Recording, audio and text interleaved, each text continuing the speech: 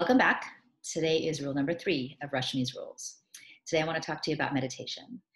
I wake up every morning, like I've discussed before, pretty early. It's around 5:30 or so, and I try to get in my five minutes of meditation. Sometimes I try to do more, but I I really have committed to at least five minutes every day. And what I found is that it's really changed uh, the breadth and depth of the peace that I find every day.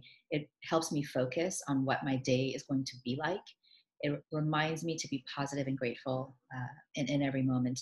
And you know that five minutes can be done really at any time in the day. You know if you can't find time in the morning you, can sit in your car for five minutes uh, at any stop if you need to. Uh, if you're waiting at the doctor's office you can spend an extra five minutes in your car uh, if you're sitting in your room and you're about to go out and watch TV with the kids, just sit on your bed for five minutes and meditate. I've used various different apps to help me meditate. I've used the Calm app, um, Headspace. Uh, I, I, really enjoyed Deepak Chopra's 21 day meditation. He he had a with Oprah.